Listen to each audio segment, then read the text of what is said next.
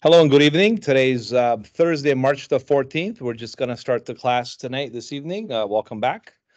I'm just going to welcome the class here live tonight, and I'm going to hit that. Uh, well, it's already recording, so we're going to continue with the Photoshop segment of the program. With this is class uh, number 10, class number nine, week number 10, actually.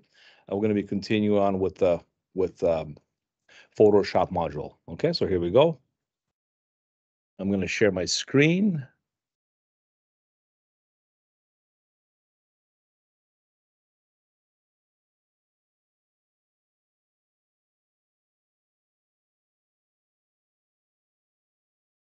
So this is the um, Photoshop module, like I mentioned earlier.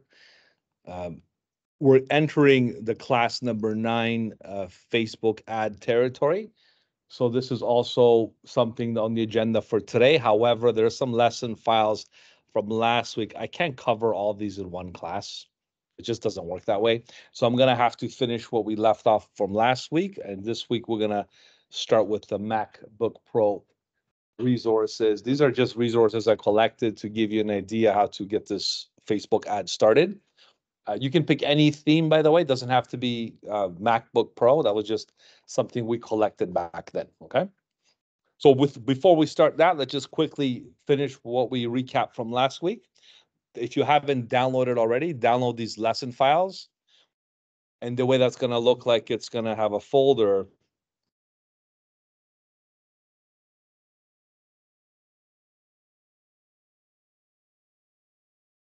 like this the selections folder. Like I said, last week we finished this one here. Right, and today we're going to start with this one. So, like as I mentioned before, these handouts are really, really um, hands-on. Not only I'm gonna do the video instructions and demonstration how it's done, you also have like an actual uh, point form handout. I used to print these and give them to my students if you're the type of person likes to read and follow instructions, there's your backup copy. So it's a good way to kind of read up on it. And it just covers all the steps that I'm going to be covering in the, in the module. If it's a little different, it's because I decided to take a different approach to teach you some other uh, similar or related techniques that pertain to the exercise. All right, so um, that's pretty much how that's set up. If you want to join me with this one, let's, for example, see what this is. So open the file, select the background layer. We're going to do what's called color range, a very nice way to select colors and selections. We're going to um, also edit in quick mask mode, a good way to introduce you how quick mask mode works in Photoshop. It's a powerful technique that most Photoshop designers use, okay? And we're going to use the quick mask mode and all these other steps that I mentioned, okay? So lo and behold, let's go ahead, right click here and open this with Photoshop.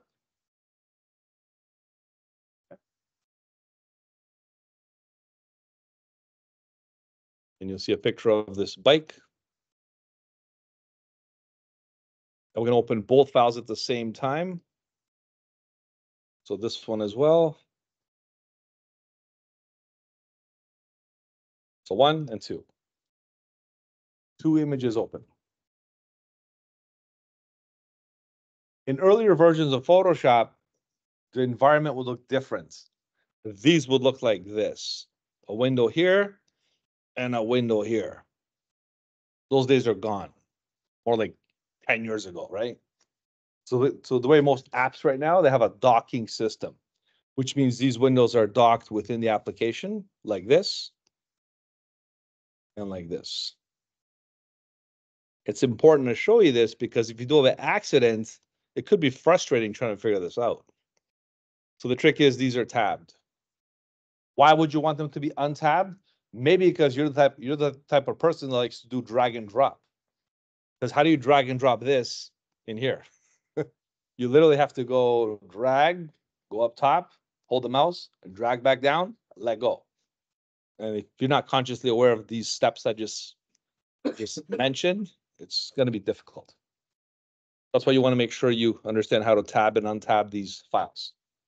So to untab them, you simply have to drag this down like this, and that becomes a floating window. And then I could perhaps drag this in here, or I should have got the other one to drag it back and forth. To put it back where it is, you literally have to drag it to the top section. Wait for this blue highlight thing to show up, like you see right now, like a glow. As Soon as you let go of the mouse, it taps back. That's an indication of how to control the docking system. And all the apps work like that, especially Adobe. For example, I can grab these color swatches here and pull them out like that. I can same way put them back. Right, so that's how the tab system keeps things organized. I like the organized way. It took me a while to get used to it. I used to get calls from my friends saying, "Hey, how do you drag and drop? Like, what what did they do with the program?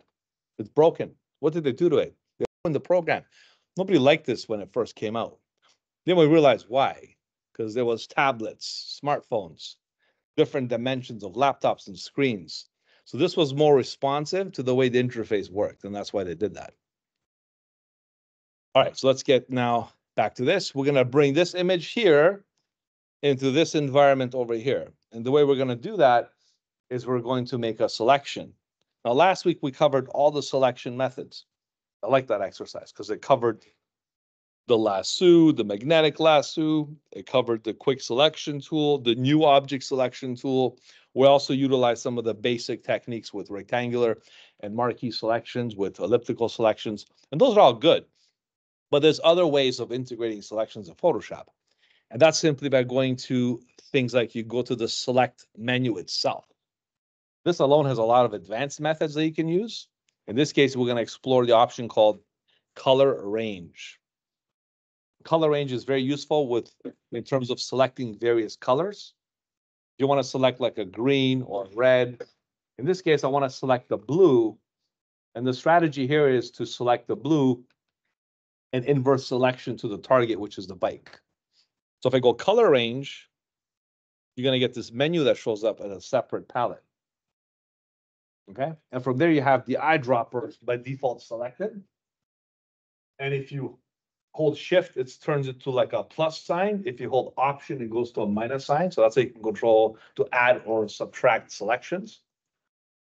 And this gives you an actual thumbnail of what the outcome is when you do make a selection, okay?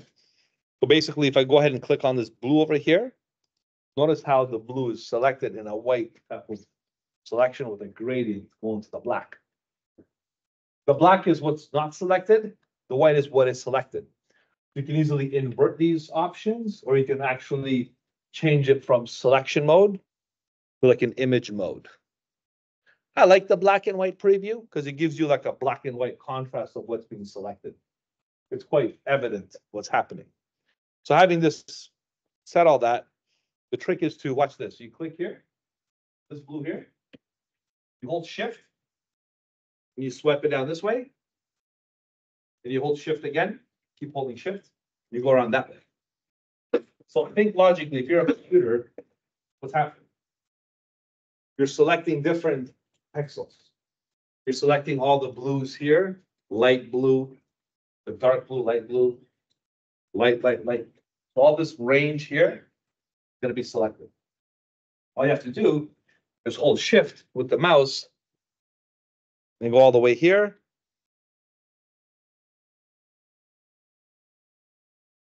Select color range. Let's try it again. So you click here, you hold shift, drag the mouse all the way across like this. As soon as you let go, what you'll see is the isolated selection of what's left. Great for selecting, let's say, something like red or yellow or something in terms of color selection. Photoshop easily picks up that color. Okay? It's way more advanced than the traditional methods because it does just that. Uh, the other option is now you can select from here. You can do what's called um, invert. Invert means you can do the opposite of what's selected, back and forth. Okay, or you can just leave it alone and it's going to be just that. I like to invert it because we want to select this, not that, correct? So that's a strategy of our own right now. So we're going to hit invert. This way it's going to select the bike and the person that's doing the stunt, right? And with that, we're gonna apply a quick mask and copy and paste these pixels onto the other image. So once we click OK, there's a selection there. You see the selection spot? Now, let's just say you forgot to press that invert button. What do you do now? You can also go to the select menu and invert the selection at any time. So you go to select. Inverse. Inverse does exactly what I just did, but from the menu perspective.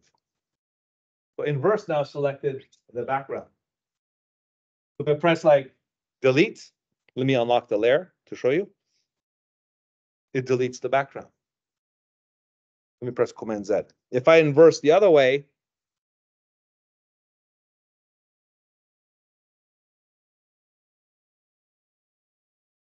it deletes that. Okay, so you have to be consciously aware of what's being selected, what's not being selected. So the intent here is to copy the pixels. I want to copy these pixels and paste them onto the other document. So in that case, I'll press Command or Control C. So copy. Go to this document here. And paste the pixels, but before you paste. Should always be in this move tool right here. Now, move tool. Why? Because chances are you want to move the selection or the pixels or wood in a different position. Okay, yeah.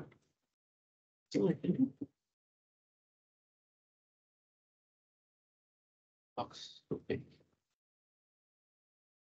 oh, take off this transform tool. Do me a favor, when you select this. This move tool here. Right? Take off this show transform controls. So do that by default right now. Make sure the show transform. I don't know why it's on. I know a lot of you installed Photoshop recently. I'm not a big fan of this here. Just turn this off. It's just, I like to call that out when I need to. I don't need this thing to be there. Right? Unwillingly, it's something that you want. So copy. Paste.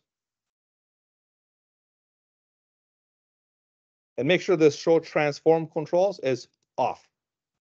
Okay, it just causes more, more, more problems with. And then you, you might wanna, if you do wanna transform it, you can just use Control or Command T. And then you can do what's called resize. You can do like a rotate and stuff like that.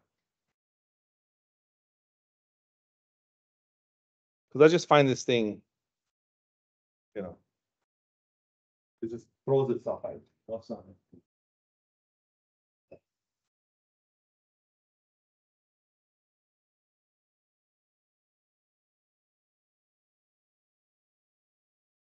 I don't know.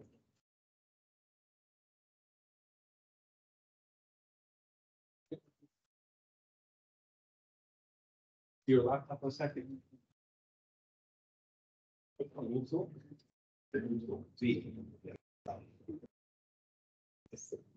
Sometimes the thing is, the on this. This little button here. Roll over, see what it says.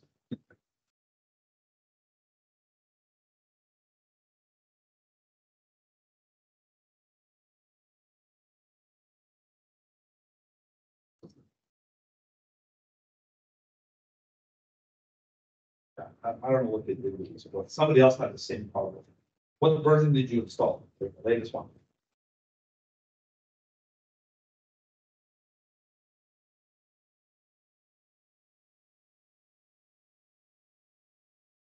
Just say copy listing all that for that. Let's press Command C.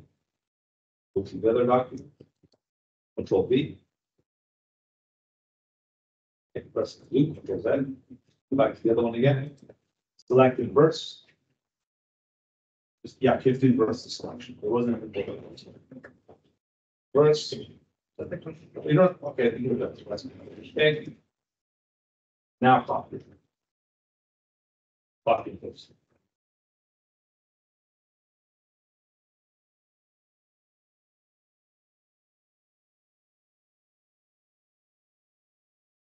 Back again. Press enter. Okay. Can you move this around? Press escape.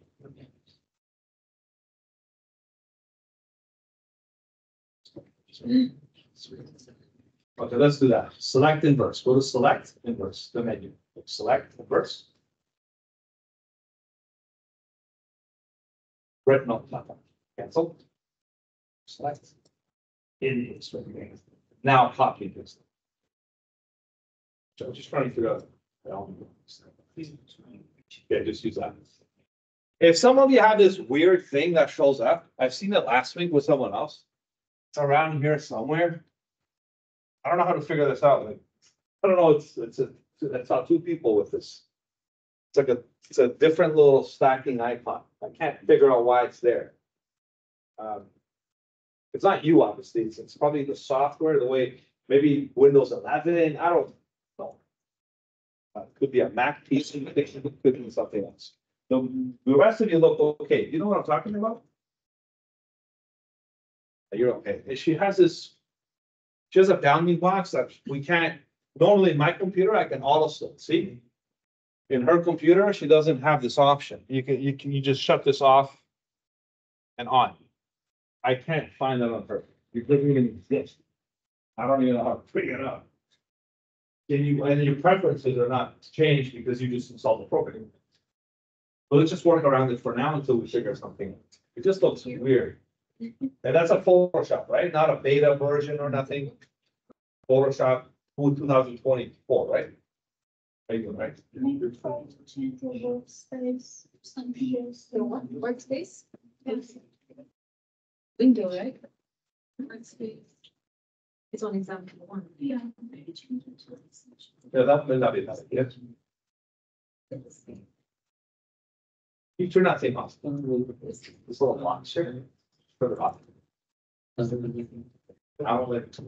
You just keep that off.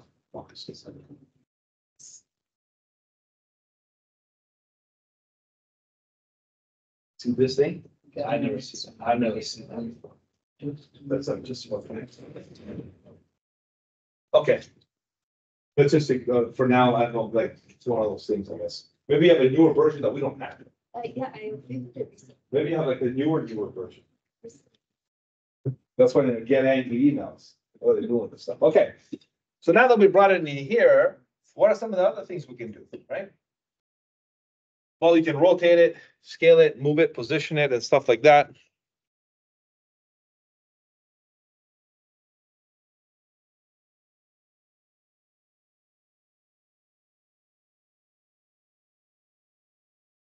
But is it perfect? Let's zoom in. Let me turn off this show contrast transfer controls.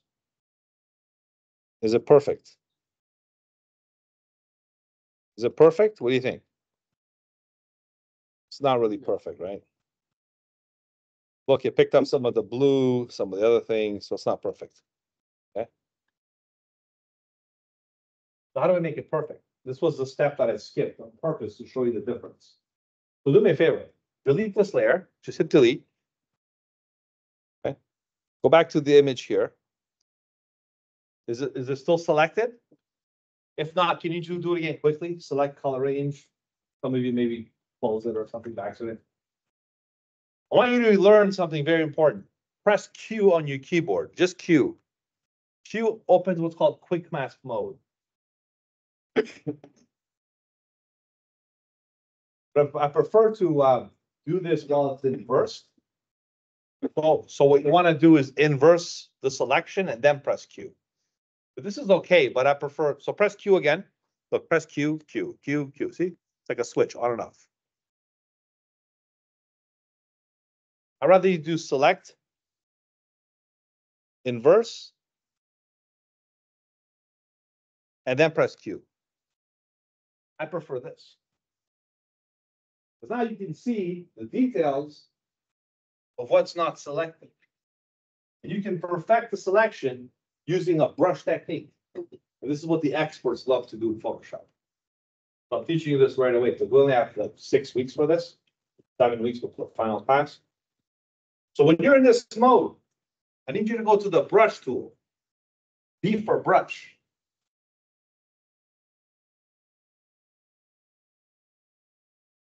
Make the brush size nice and small. Small meaning like, I don't know, five pixels. Hardness. One hundred or ninety. Zoom in. How do you, how else do you control the brush size? Look at my hand. Square bracket, bigger, smaller. Beside the letter P, there's two curly brace brackets, the one used for your JavaScript.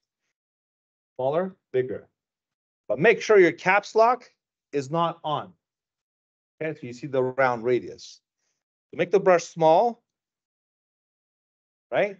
And then you can go like this. You can paint these things in. If you square bracket. Beside the letter P, left and right.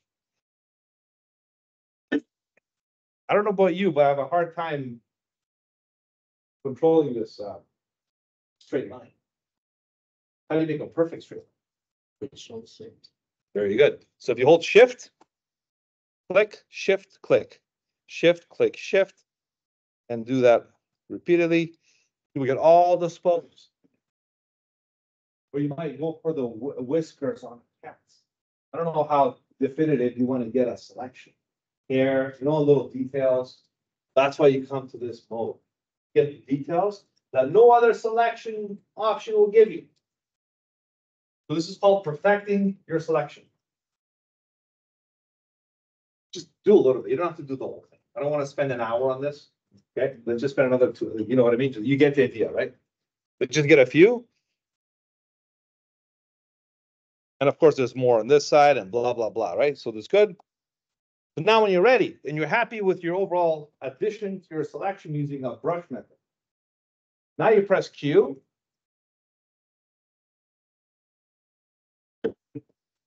Select inverse. Notice how it's selected inverse. I'll put it back in the selection.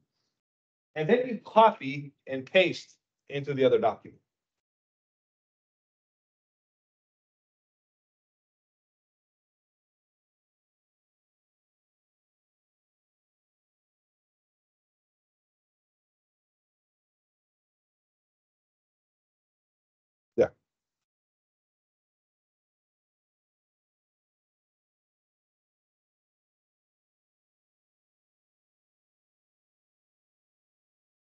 Figure it out?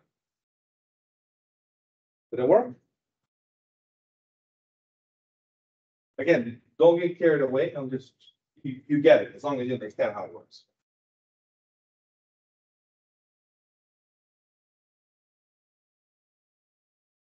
There's some tires too, so just go over the tire. Pretty the tire.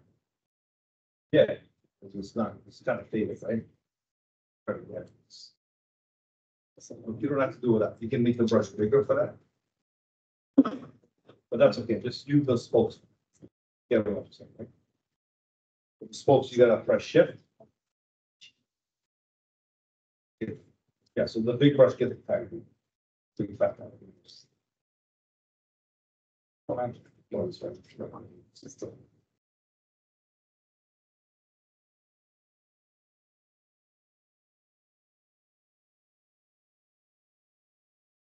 Man.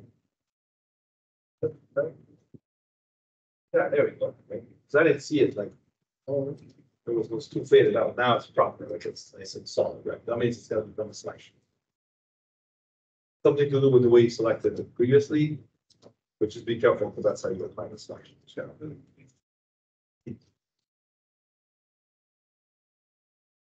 Uh, if you make the brush smaller, smaller, big, big.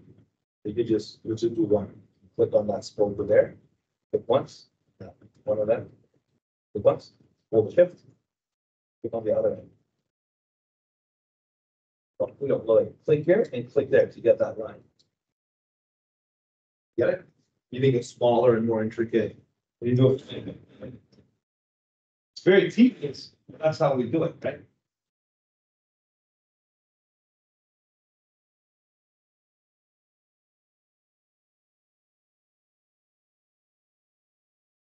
Okay, so now what?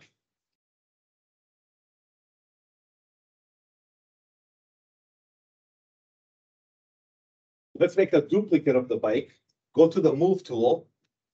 Okay?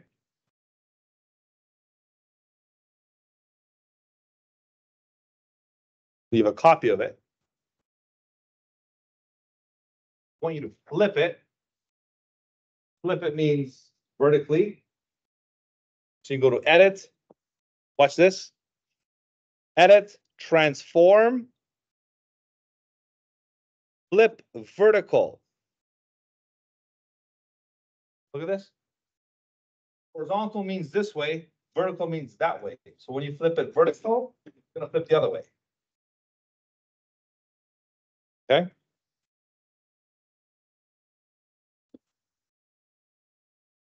And press Command T.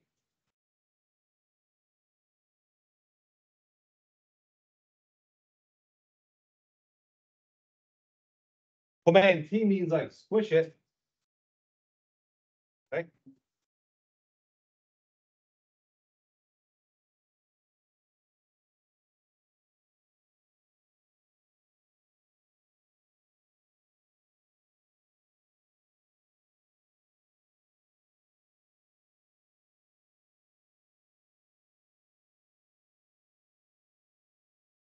Gonna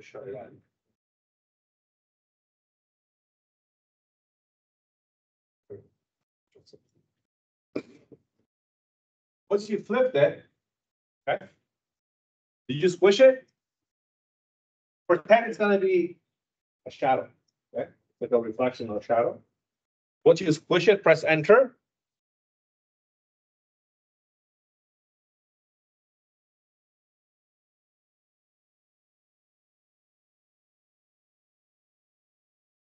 Then you can double click here on the right side of it. Be careful, because look, here, not here, further to the right. And you want to do what's called color overlay.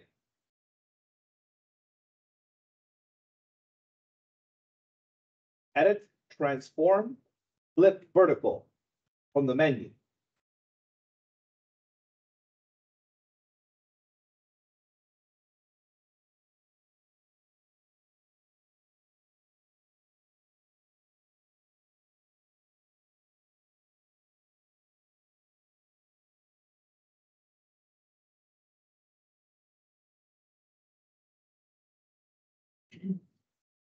Now, when you're here, I mean, there's many ways of doing this, but the quickest way, the fastest way is to open up this layer style menu, which we're gonna look at later again.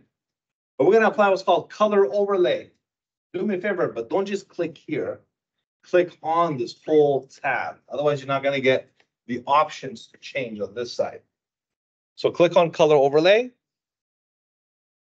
Like that. What do you know? The default color is black. That's exactly what we want.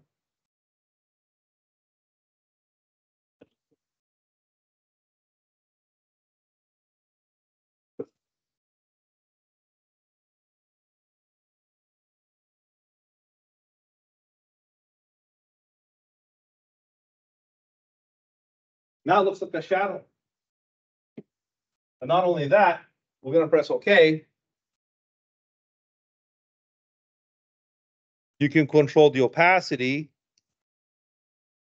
like this and make it look like a realistic shadow. Opacity thirty-seven percent.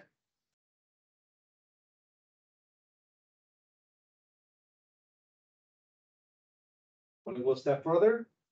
To make it look more natural, this is what's called a warp transform, which is the last step. So you're gonna go to edit, transform, warp. We did this last week with the pepper. Remember the pepper for the nose? The melon that we did? We warped it. You warp that shadow that we made And you can do things like this. You can kind of do whatever you want, really.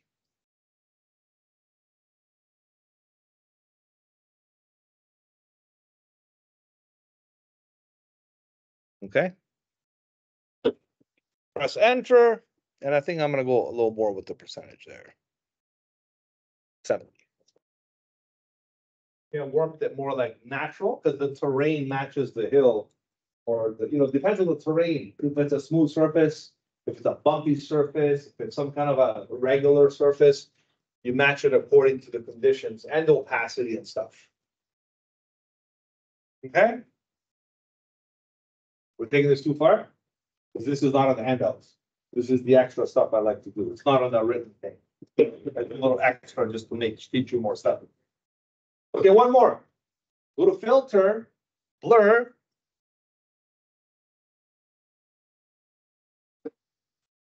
Gaussian blur. Gaussian blur? Filter, blur, Gauss, it blurs the edges. Look at my shadow. Look. Yeah, it's blurry when you go away. Depends on the distance. The shadow is not as clear and crisp. So you can go ahead and do this. Right? I think one point three is okay. Default. Because if you zoom in, you see the shadow is blurry. The edges. Okay.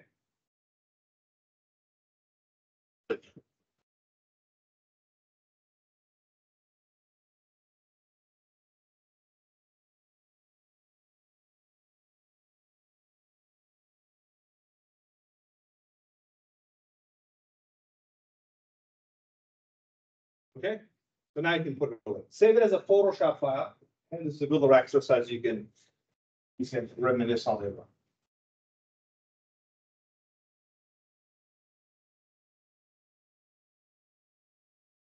You can call this bike stunt rider or something.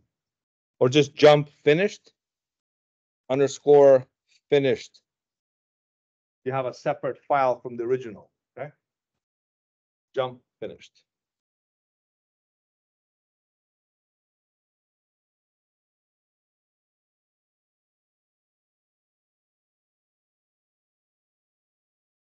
Save. Okay. We'll put that one away. Put this one away.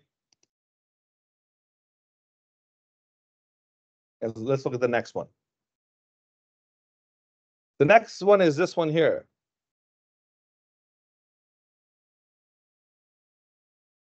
Pretty quickly how this works, but we're not gonna get into the details because it's a lot of kind unnecessary, but it's good for you to understand how this new feature works.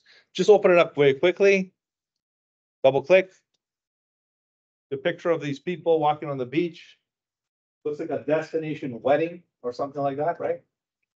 If you open up the guides, so go to view. Uh, show guides.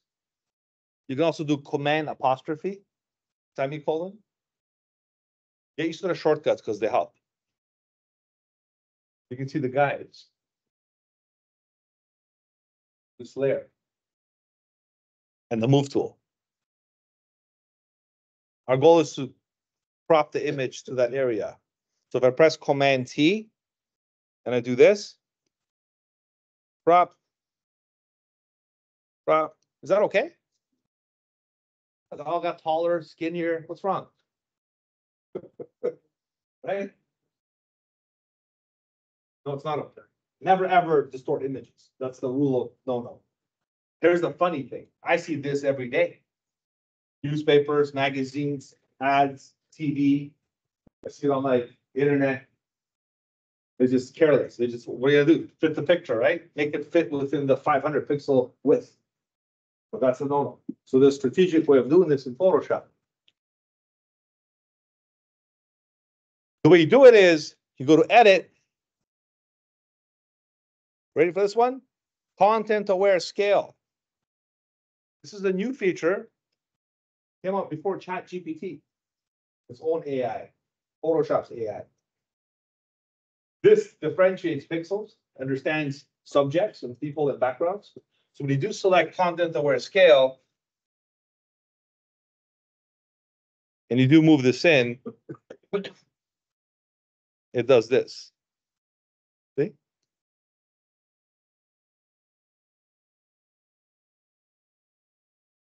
Content, aware, scale. In conjunction with this, sometimes you have to use what's called an alpha channel or save selection, which we haven't done yet.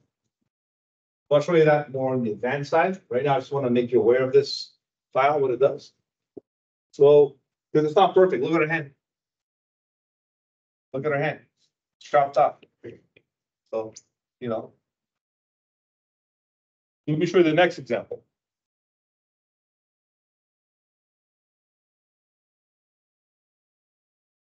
The next example. is here. If you hide this layer. Go the other layer, the new one. Right? Try doing the same thing. Try go to edit.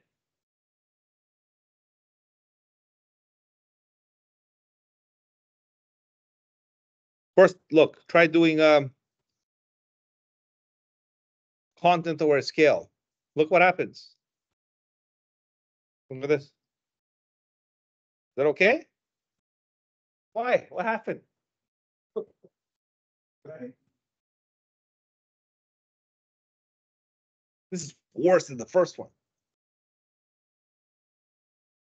Watch this. You go to edit. Let me just show you the power of alpha channels. Alpha channels is how you embed selections in Photoshop in the backend to help support areas to not be affected, like basically uh, frozen pixels, we'll call them, right? If you go to layers, channels and paths, this is where Photoshop's brains and functions derive from. So channels is where everything happens. By default, the channel reflects the colors that are embedded with the color profile of the image. In this case, it's RGB, red, green, and blue. If you start doing this kind of stuff, you can see different colors. Not that you want to do this, but it's just to show you how colors are perceived. You don't want to come here and start doing this kind of stuff. Pointless. What you want to do though, is click on the alpha channel here, scale.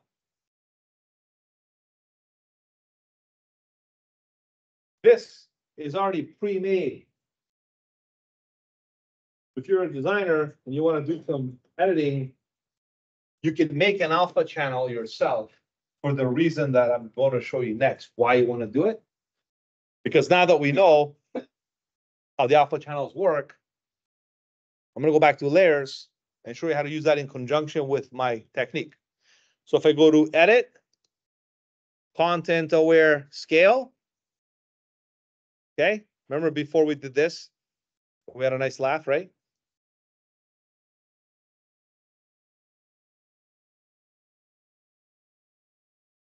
Get this out of the way. Look at this. Protect. Scale. Don't think scale is a term. Scale is the name of the alpha channel I showed you. Just a scale. Let me rename it. Watch. Let me go to channels. See how it says scale here? I'll rename it. I'll call it teens. I'll call it teens.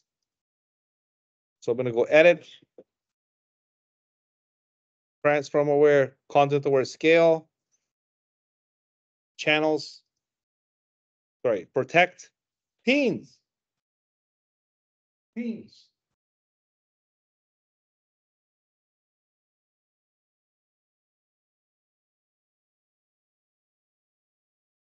What happens when I protect the teens? Look at this. You move it in. Move this in. Look at that. It protects the pixels. Pretty cool, right? That's why you want to know how to do alpha channels. You can protect areas not to be distorted. You can do all kinds of cropping and scaling and not affecting the main subjects. Yeah. Oh, yeah, look, see, watch, group hug. Right? I mean, it can only work so much.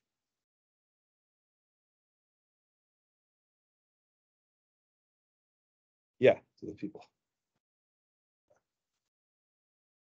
So it, it goes up to where the subjects meet. Like I would go as far as maybe that. Of course, everything has limits, right?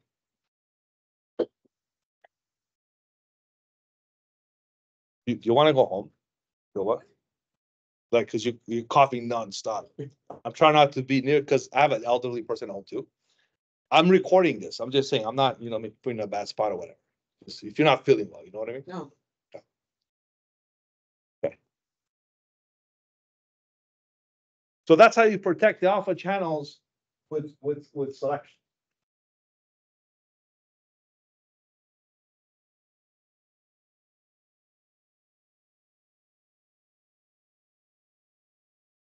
Now you're gonna ask me, well, how did you make an alpha channel? Right?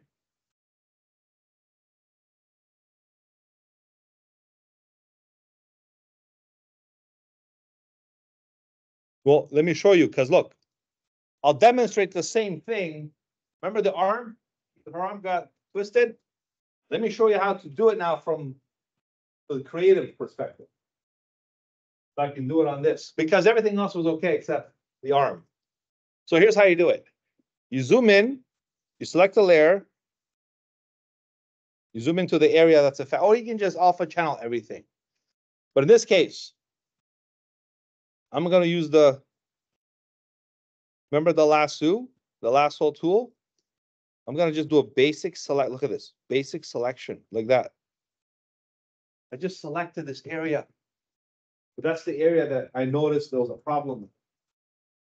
Once I select that area, I'm gonna go select. You, you with me? So I selected the area that, that caused the problem.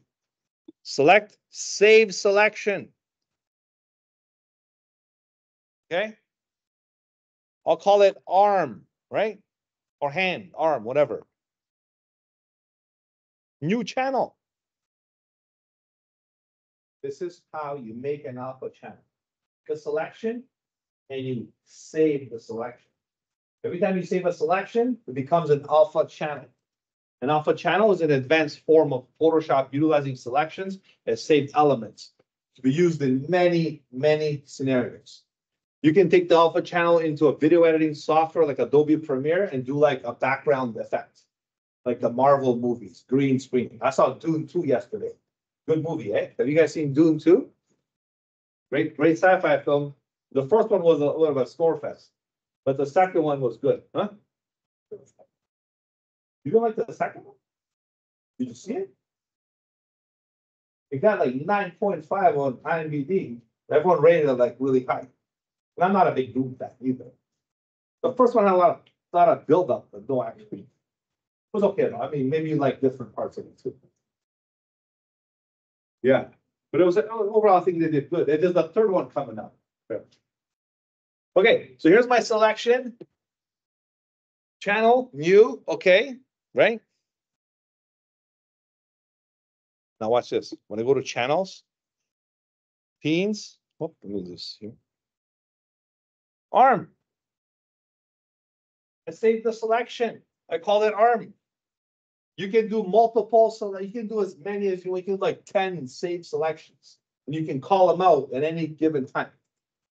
So I just did another one in the same document. I made two alpha channels. So now that we know how this stuff works, we go to edit, um, content aware scale,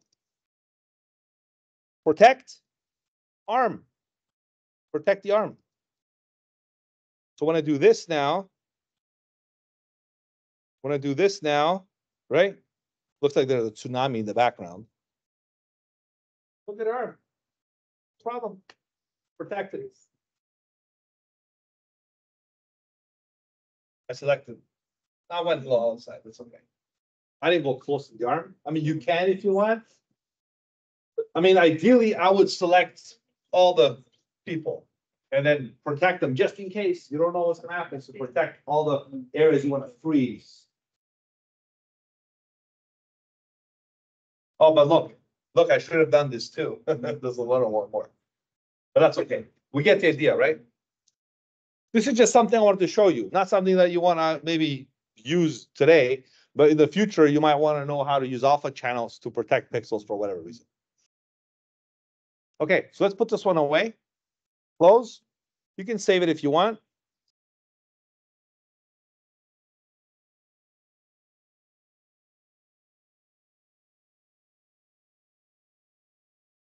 Save, select, save selection. Select is how you save the selections. You can also load selections. But look, let me show you one more thing, since this is, you ready for this? Let's say I want to extract these teenagers to another area. And I don't have a selection. Because Alpha Channels has it saved, like let's say I did this and I saved the selection. It's always there. I can always go select, load selection. Look at this. Teens. There's a selection. So once you save a selection, you can load the selection. And you can just copy, paste, do whatever you want. Now, I don't want to dwell too much on this, but you, you get my idea, right? You can load the selections at any time. So just saving the selections keeps this in alpha channel mode in the background. Okay.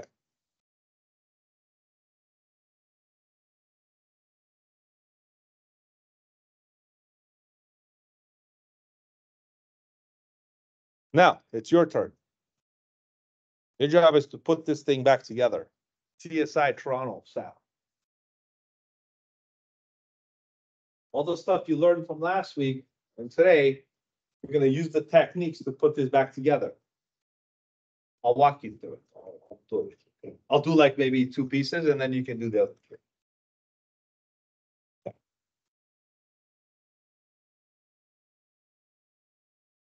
So basically here, um.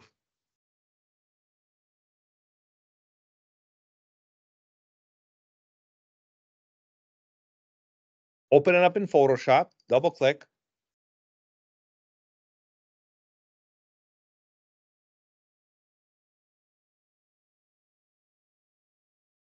Let's say you ripped up something by accident. I'm sure you've done it. And you're like, oh, shoots, how do I bring it back? Right? Or let's say a photo it's ripped or something. Right?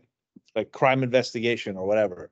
Well, you can scan the pieces on a scanner, take a picture, bring it into the computer and put it back together. That can be done. Very useful skill to have. With great skill comes great responsibility. So don't do anything malicious, okay? Do good things with it. All right, so zoom in. Let's attack one piece at a time. That piece right there, we can select it with any selection tool. I'm not gonna use the lasso. It's too freehand. But I could use the magnetic lasso. Right? Magnetic. Let's try it out. I click here. I follow the mouse along. I click periodically. Keep clicking. Look, it, it sticks. It's nice. It knows exactly the edges that I'm looking for. You can click periodically back and forth.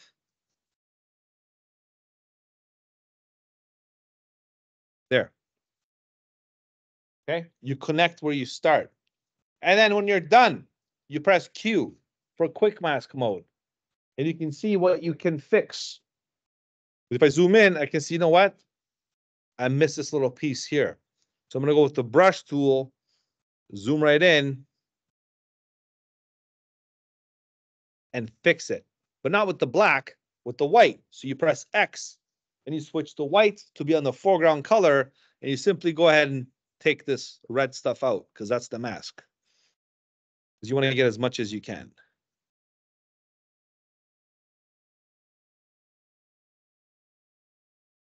So your masking is your fixer upper.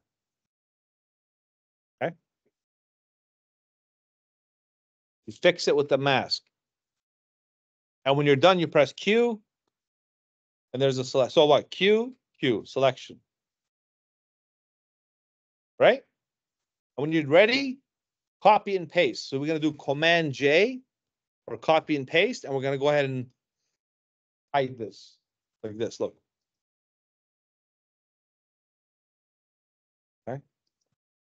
And just go with the move tool and move it around. So you know it's a separate piece. Rename it, call it top, top left, top left corner, right? And hide it. Next is this piece here. I want you to practice as many techniques as possible. This time I'll use the quick selection tool. This one's a good one, eh? This one here. It's up to you what method you want to use. I just want to make sure you're able to deliver on all kinds of methods available. So for this one, look, look how easy this one is. You click and drag the mouse like this, click and drag, click and drag. Oh, I got extra there. So I'm going to hold option, click. Right? Press Q. Q, Q, Q, Q, right? Clean it up with the brush. Press Q again. Copy and paste, Command J. Go to the move tool, move it up there. So basically I have these two pieces ready to assemble. You can press Command T on each one. You can kind of straighten this one out, click on this one. Can I show you something cool though? Wa- Watch everyone. Look how I'm gonna, ro- I'm not gonna, I can rotate it this way. I can rotate it this way. I can also do this. I can put a, a swivel there. So I press Command T. You see this registration? I move it right there where they meet, right? I leave it there and I go to the edge and I rotate it perfectly that way. You see that one? So you can kind of control, it's called the registration. A good little method to control your rotation, transform and all that. You press enter and there it is. Again, I just use two methods, magnetic and quick. I'll use the other method, the one that, the new one that came out, which is quite easy. This other method, it's the um, object selection tool. Remember that one? You just hover the mouse, you wait, you count to one, two, three, four. Taking too long.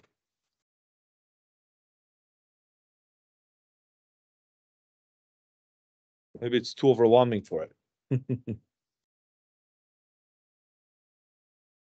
All right, never mind. Let's just use the quick selection tool. Quick selection tool. Click and drag the mouse. Click and drag the mouse. Right? Press Q to confirm. Right? Get the spots that you don't want to get or whatever, vice versa. Right? When you're happy with it, copy, paste.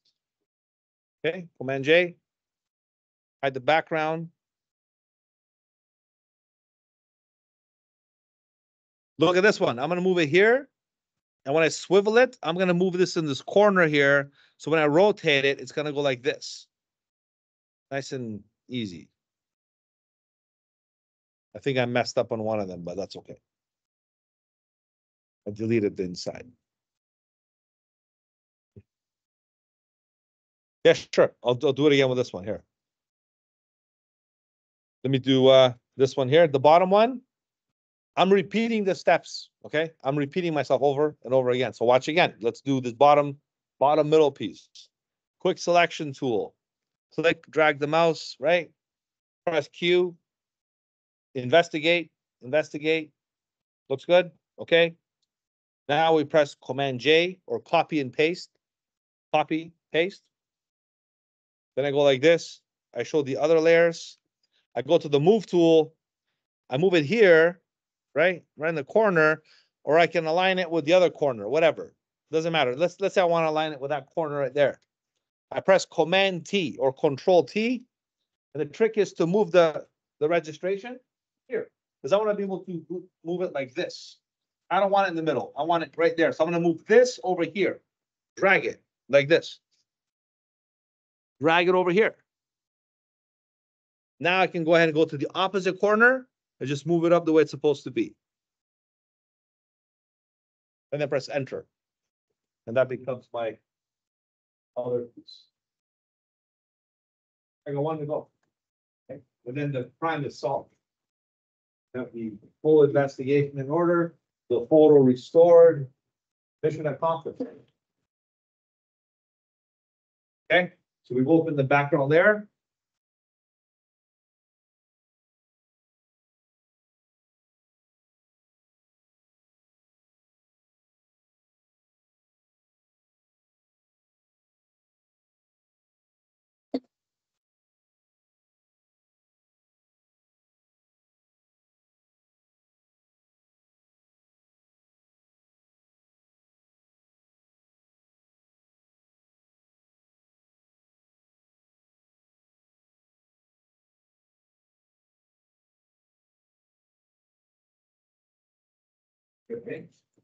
Wow. So make sure, make sure you click on this little box over there.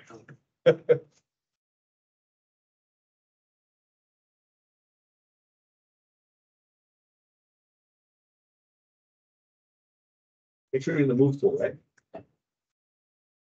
Let me do it on this one again. Look, one more time, ready? I'll select the bottom piece. Right?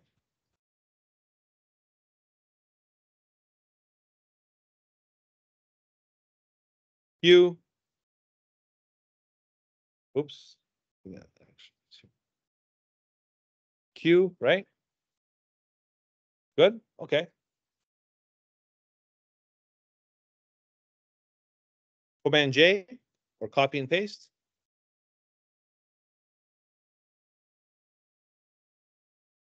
If you're not getting this little transform thing, when you press Command T, make sure you turn on this little check mark. Look, see my mouse, everybody look here? This has to be on. Otherwise, you won't see the registration point. When you press Command T in the move tool, check that thing on, toggle on. It's a little check mark. See it? Because if it's off, you won't see the registration. If it's on, you can see the registration. I'm gonna move the registration here in the corner here and just move this up like this. Well, this is a weird one, eh? So I have to maybe do it manually. That's okay. I'll do it like this. When it's all said and done, you have the completed version. Not perfect, but I've had students that that went the whole way and they, they did the quality and all that kind of stuff. I pretty good times. But for now, this will do,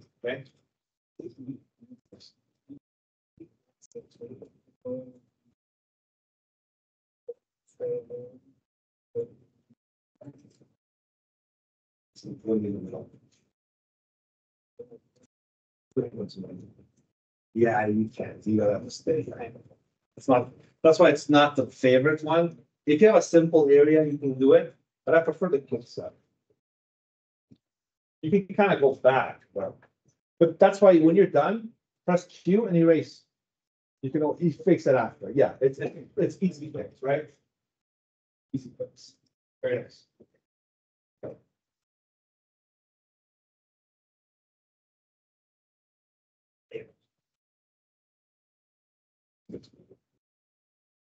You can double click on this color. palette.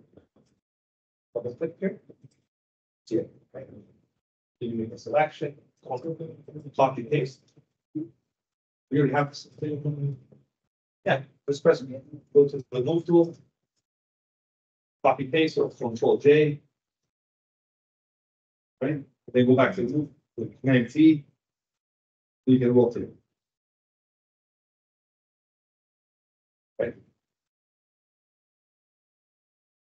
Right, so then you do the next piece, copy, copy, paste. Right. Let's target another piece with the selection. Okay.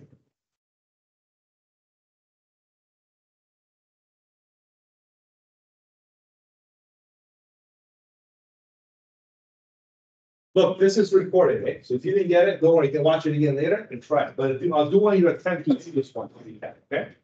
It's a little, you know, a good thing to know how to do. But that's what Photoshop people use it for many things. So restoring photos is a very important thing too. Okay, let's keep going. Let's save this as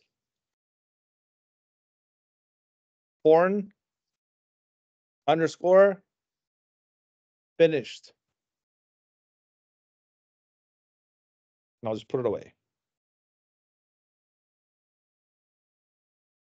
So before, after, right?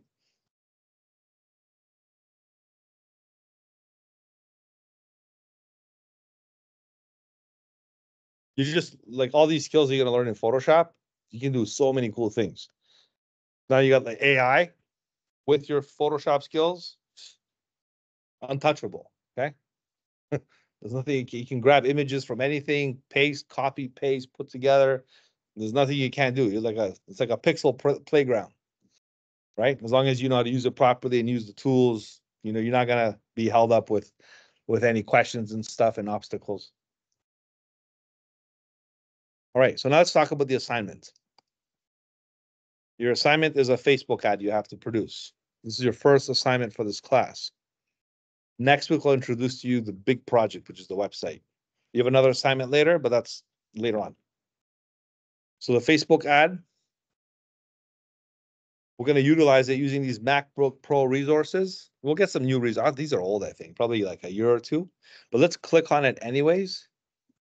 And you'll get like a folder with a bunch of images. So if you download this to your desktop, just quickly check it out. Once you download it. Like to see all your assignments, just click on your um grade book, right? And click on your project, Facebook ad assignment. Click on that and you should be able to see the details of the assignment. You can see like uh This is due next week, okay? Next week is the twenty-first. I'll probably give you an extension. So after next week, I'll give you an extra like couple of days till the end of the weekend. So don't worry, but try to get it done if you can. Okay, that's why I'll give you some time today. When I'm done the class, you can start it. I'm gonna help you start this right now. So you have a week to get it going, and it's not hard to do. It'll take you honestly an hour, two hours max. You're just putting a bunch of images together with text and creating a Facebook ad. People make a living doing this. Look at how big the market is, Facebook advertising, right? Every company needs ads and not just for Facebook, for LinkedIn, for all the other social media channels. Then you gotta learn how to do video, animation, all these stuff. Is it called considered production techniques? That's what this class is. But you're doing creative production techniques, not just being a, you know, cut and paste kind of uh, technique here. You can also create stuff because you have the ways to come up with your own ideas. So let's go through it quickly. Okay, so you're gonna be designing a social media ad that'll be featured in Facebook and Instagram. So I put both together. A lot of businesses take on these channels to boost their brand and product awareness. You don't have to be an expert to start advertising on Facebook. More than two billion people use Facebook every month. So no matter what kind of audience you want to reach, you'll find them here. You will choose your own client, fictional or real. So pick any clients. You can do your favorites, running shoes, sneakers. You can do your favorite video game or favorite movie or something. You Do a Facebook ad on that. So I want you to have some fun, learn the tools. You're gonna create an ad using the tools in Photoshop with the proper size requirements. The size requirements are, what are the size requirements? Oh, 1080 by 1080 pixels at seventy-two DPI and RGB color mode. That's the size that currently runs on social media. It's a block, it's a rectangle. Used to be twelve hundred by six thirty. It was more like landscape. Now it's like a square. These TikTok and all the other ones kind of have similar formats. Even if it's not, it'll still load. But you don't want to make it two thousand pixels or four thousand pixels because it'll be too big. And they'll tell you, look, this is, this won't meet the requirements. You can't do it. So that's why you want to meet the requirements from the start. So This way you have no problems uploading stuff on social media. It's different than putting stuff on your phone. This is, this is a digital creation on a computer. You have to make sure it's properly targeted. JPEG format. You're gonna use Photoshop. And choose your objective, select your audience. So tell me a bit what you're doing. When you submit the project, there's a little content area you can start typing. So tell me something. Hey, I'm doing a Nike ad. I love these new uh, sneakers they're having. It's like golf shoes, and this is why I chose Nike. That's my favorite company. Tell me. and then send the ad. So that's what that, this all means. Okay, what am I expecting? I'm expecting minimum of five layers. The thing that we just did with the person skateboarding had five layers. It's not much. Various selection methods demonstrated. That's a given. You can't do it without selection, so I want to see you utilize selection methods. Layer blends and layer styles are optional. I haven't showed you that. yet. I'll show you how to do layer blends and layer styles. Actually, we did a layer style earlier. Remember the black shadow for the motorcycle? That was layer styles. So we actually did it, but I'll show you another example. Photoshop format with the JPEG. Why do I want you to do both? Photoshop is your work file. You gotta have it in order for you to keep editing your work and make, make templates for other ads. If you do an ad campaign, you know what people do? They make one ad and they replicate it, change it, replicate it, change it. Now you have three ads. It's called an ad campaign. But you're gonna make a JPEG out of that because Facebook's not gonna accept Photoshop. They don't like each other. Like, I don't want Photoshop on my social media. So I say, where's the JPEG?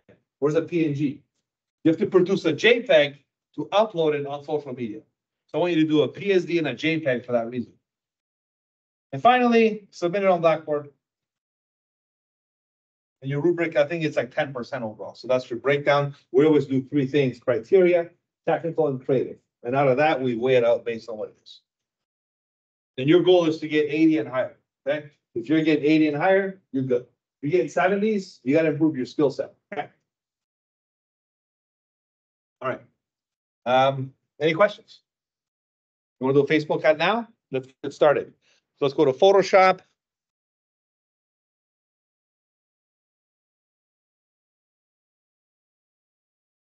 Let's create a new document. File new.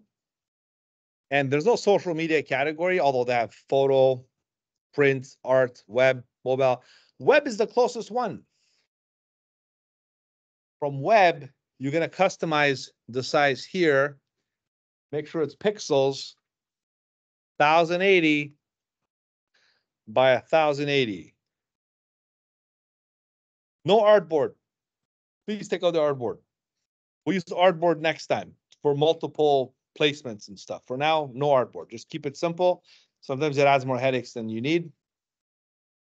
Thousand eighty pixels by thousand eighty pixels. Please make sure it's not pixeled in instead of inches, because that'll be a problem, right? RGB color mode. So once you go to web, all this is configured for you. You just have to hit the numbers, 1080, 1080, hit the create button, and there it goes. If you're not sure what size the social media things are, just type in Facebook size. Oh, look at that. That's the old one. 1200 by 630, right? Um, but the new one, honestly, really, let's let's put 2024.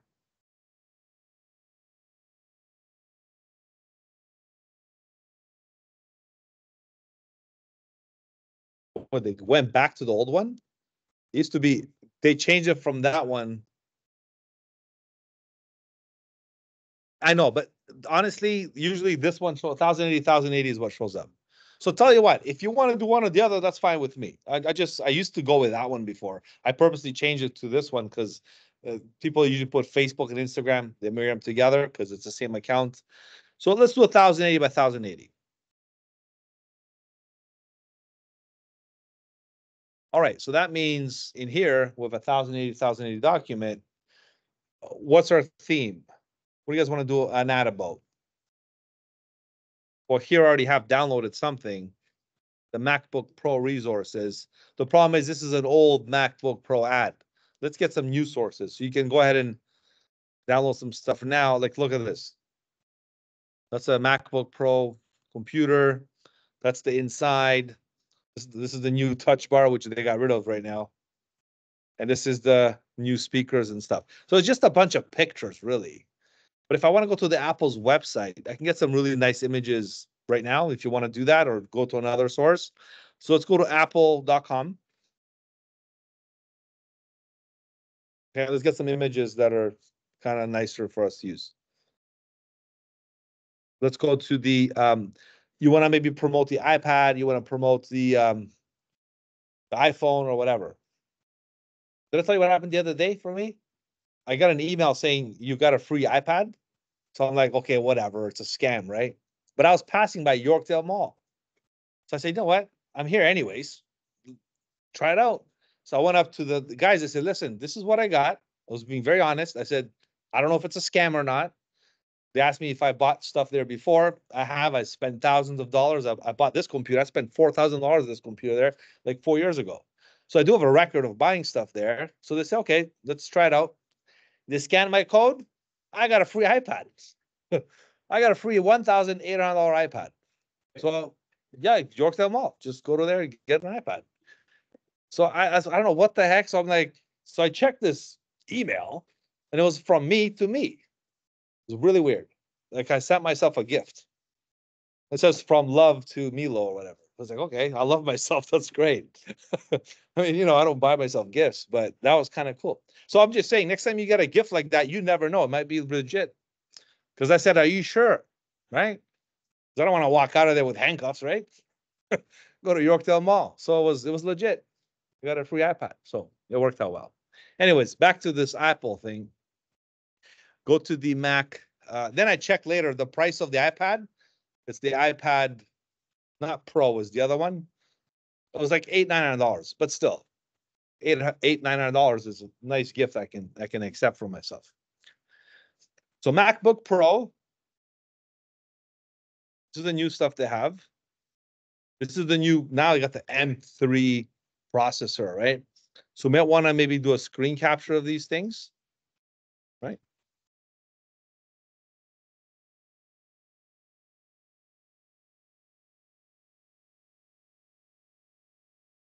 Save image as, I don't know, let's try it. Mac Pro. I wonder what it's gonna look like, because it did save a rotationary image. Look, it actually did it. It saved that exact angle of me capturing that picture. Now, if you want to get your image sources, whatever it is, grab them anyhow you see fit. You want to screen capture, you want to save the pictures. Like I just caught this on a 3D rotated angle, and I can maybe even grab this angle too. Oops. This doesn't stay. Right click, save image as, right, download to. Let's grab some more sources here. I want to perhaps grab the new. I mean, honestly, I can type in M3 processor. Under images. And there's the M3 chip, okay? That's the newest, hottest thing right now on the market. I'm gonna go ahead and grab this, right click, save image as. I'll call it the M3 feature black. Look, this is a nicer too. Look at this one, right? Maybe I can use this one as a background of some kind. Oh, this is the max. This is the latest one.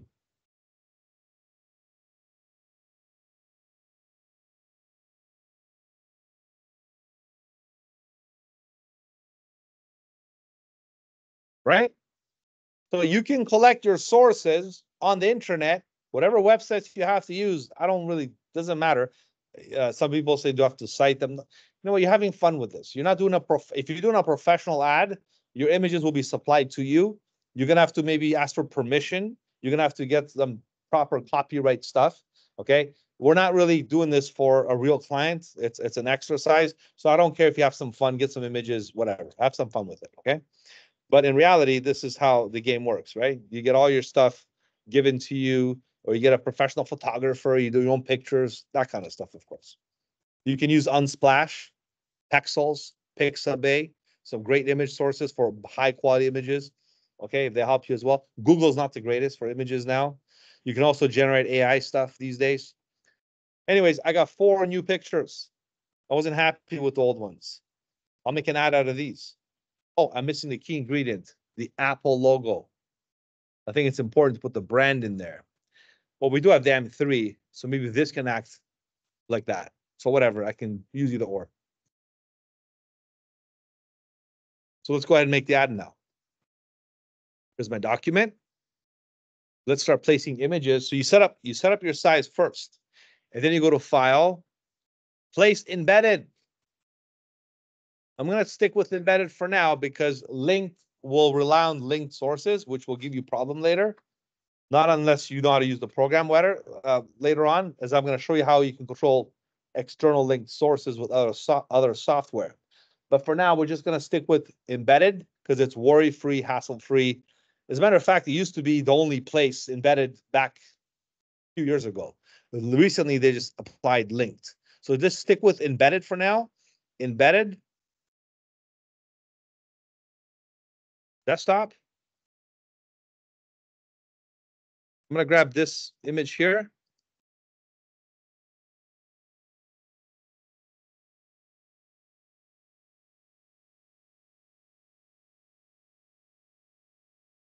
Press enter. Get rid of the, get rid of the, get rid of the background, so I have this nice image floating by itself. I'll even use the eye, uh, the magic wand. Watch this, you see this white stuff here? I'm gonna select it, delete it.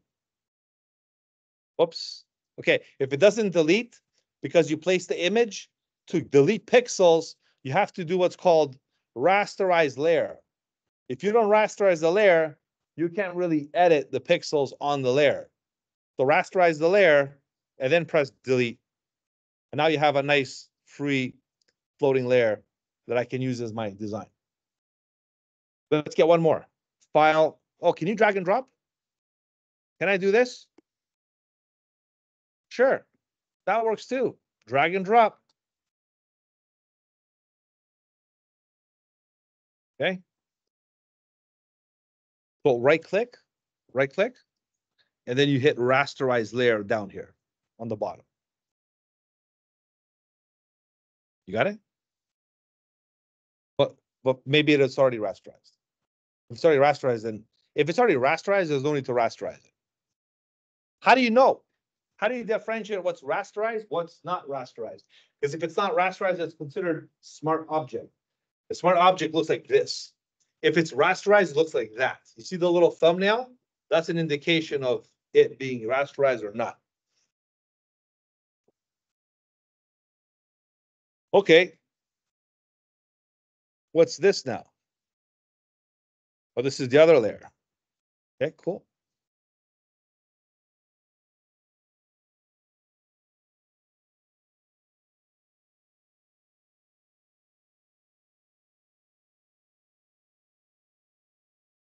Maybe a little too much, eh? But look what I'm gonna do. I'm gonna move this up here, move this down here, okay? And I'm gonna grab this and make this part of the screen. So this will be, it'll look like it's part of the screen on the monitor. How would I do that? So watch this. I'm gonna align it here like this. And this is cool because a lot of people that do advertising on billboards, screens, they do this. I do that on my screens too, actually. So I'll go to edit. Watch this carefully. Transform, distort. Okay, the biggest kept secret in Photoshop for doing superimposing. Because if you do distort, you can grab this corner, match it to that corner, grab this corner, match it to that corner, and this corner, and this corner, and make this look like it's part of the screen. You follow me? Press enter. Now it looks like it's part of that monitor right there. I don't know if it looks good. If it doesn't, we can switch it up. But that's, you know, pretty much how we can utilize these techniques. Maybe I'll do like a clipping of some kind. All right.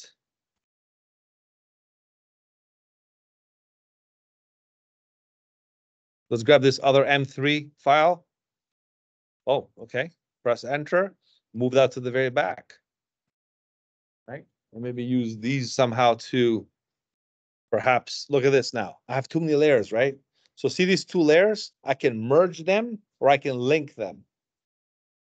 why don't I just merge them? But you might want to show me your work, so you can also do a right click. Um. Link layers, link layers means like join them. So if you move, uh, if I move one, it moves together because it's linked. And then I can hit Command T and do this.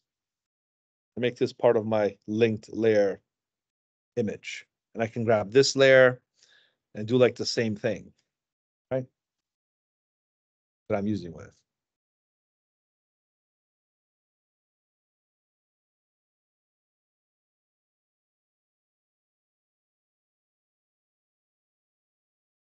Might want to put the website or something, some kind of promotional, promotional catch tag, call to action, whatever you want to put in there to bring up the attention of users to come and check out the website. Uh, you know, maybe I'll go to like Apple. I'll just click on um, the the type tool here. You got to put typography because without typography, sometimes the ad doesn't work. It needs a tagline or a message. So perhaps we can use um, the type tool. Here's the T for type. What you do is you click once and you type whatever you want. uh, www.apple.com. Okay. Or maybe we're using um slash M M3 or something like that, right? I'm totally making this up, but let's just say I'm sure they have an M3 thing. And I can center this or put it to the corner, left side, Command T again. You can also transform this for text. You can move things right in the center. Okay. And A, center, deselect.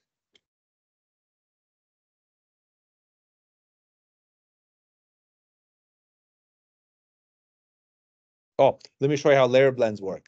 Remember layer blends, like some of the criteria points? You see this laptop here, how it's shown up? What if I moved it up like this, made it a little bigger? Right?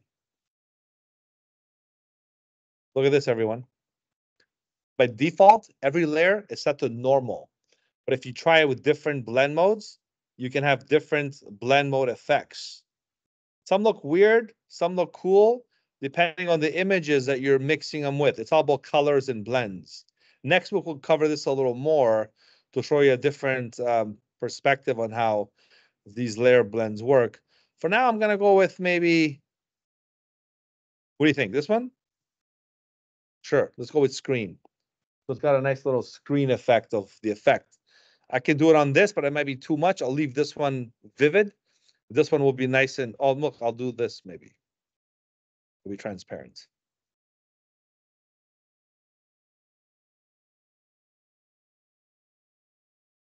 Maybe the logo gets cut off. I'll move it here purposely. Right? M3. And you know, sooner or later, I'll spend another half an hour on this. I'll make it an ad, right? And I'm done, right?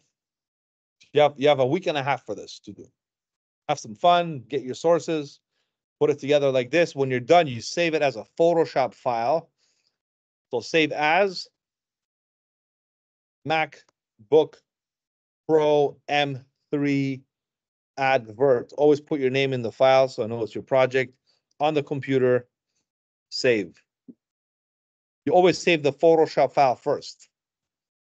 And when you're finished, you save a JPEG because Facebook won't accept Photoshop, but it'll accept a JPEG any day of the week. So you're gonna go to File, save a copy, and from there you select JPEG. Right? And the quality usually stick to the high quality. So JPEG, maximum quality, twelve.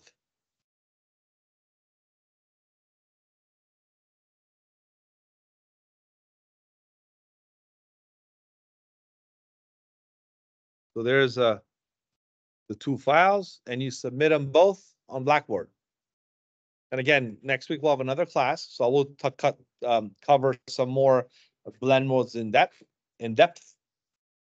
And at the end of the day, you know, you might produce an ad like this. I just decided to switch my resources last minute.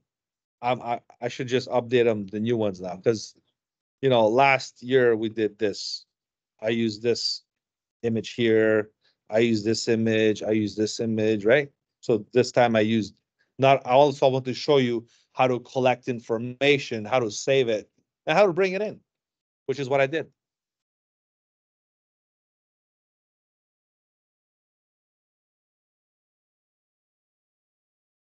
Okay. So did we cover all these? Let's do a check mark list. Uh, yes, we chose the objective. We did a MacBook Pro M3 processor, new Apple promotion. We, uh, we used Photoshop. We saved the JPEG output. We made a thousand eighty, thousand eighty pixels. We use five layers minimum. We use various selection methods. Uh, layer blends and layer styles, and we save the Photoshop file and we're gonna submit it on Blackboard. Okay. All right, so that's a wrap, okay? And I'll give you the rest of the period now to work or do whatever you have to do, all right? So I'm gonna go ahead and save this. Uh, go to my, because this is recorded, so if you want to watch the lesson again, let's say you missed a few steps before. You can watch my video. I'm gonna upload it on YouTube and you guys can watch it again. So having said all that, I hope you guys enjoyed the class. Thank you for watching and I'll see you in the next video. I'm gonna just open my file here.